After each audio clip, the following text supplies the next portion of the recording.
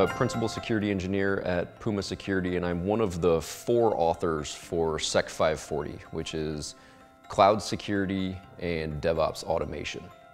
Um, the key part of this course and, and, what makes it so great, I think, is the, the authorship team that we have. Uh, very few SANS courses actually have four authors.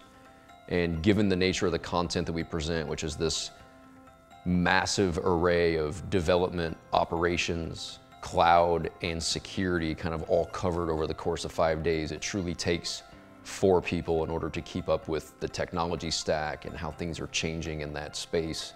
Um, we've also got a lot of good minds from different areas of the industry on the authorship team. So Jim Bird is the CTO at a financial trading company up in Canada. So he's got a lot of very high level CTO style experience with going through compliance audits and dealing with auditors and building a DevOps program and still being compliant. So he brings a lot of that expertise to the table from the author perspective.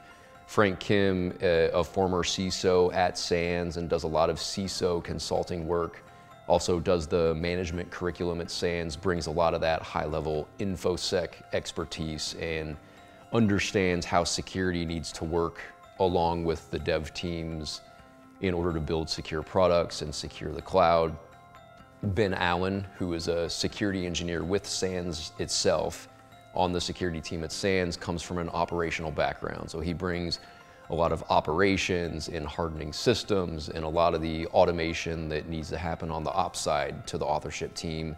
Myself, I come from a development background, so I spent several years doing dev work and then application security audits for a large financial company.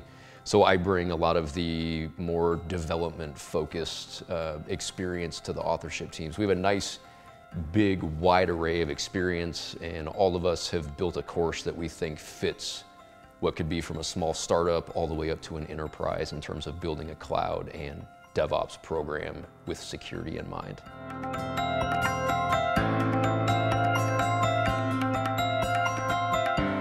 What do I personally love about teaching the class? It is an insane class to teach. Uh, when we built a real world lab infrastructure against the cloud, uh, the cloud changes every day.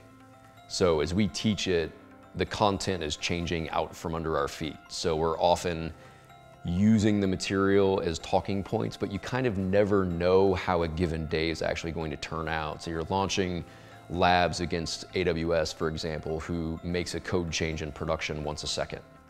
So a lab that has worked for two years might suddenly break some afternoon and because they change the way something works.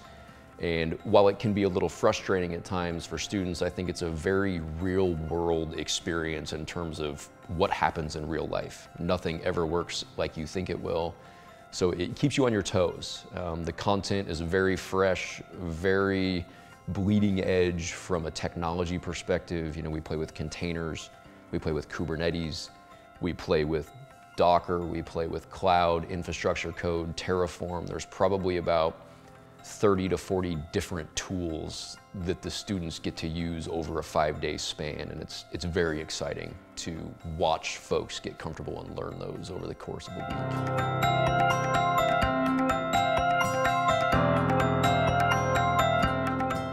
Students, I think, are loving the class and, and most of the folks showing up are information security backgrounded folks. And the reason that they're there and the reason that I think they need to take it is we probably all realized this at this point, but the cloud is not going anywhere. Uh, organizations are just building and building and building in the cloud, which really makes visibility difficult. So you cannot defend things in the cloud if you don't know how to monitor them, track them for changes, and automate their creation, their updates, and their deletion over their time span. So that, that's our biggest goal in the class, is to allow you to see what an automated, compliant build pipeline for your cloud infrastructure would look like and the tools that can help you actually defend that and monitor it.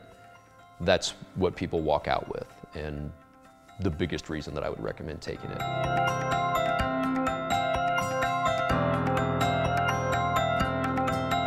Every day has a different goal. And the biggest takeaways are kind of just illustrated by the title of each day. So day one, our biggest takeaway is we want you to understand how development uses automation to build and deliver products to the world. Now we talk about security every step of the way and how we can improve that, but number one is just understanding the DevOps workflow and the tools and the security controls involved in that workflow. So that's kind of bullet point one. Day two, we look at it from an operational point of view. So getting our operations teams to build and provision systems using the workflow that we covered on day one. So we're moving away from checklists and manual steps on the ops side and moving towards infrastructure as code and moving towards automating and building a cloud and our gold images using the same dev pattern. Day three, we move more into a cloud architecture and we talk about cloud security services and how to use that same lifecycle to build and lock down a cloud using the same automated scripts and tools that we've used up to that point. So it's a slow escalation through day four and day five, we start to talk about compliance and monitoring and operations. And from a security operations perspective, how to prevent configuration drift in the cloud and do that same DevOps process to build out our compliance teams.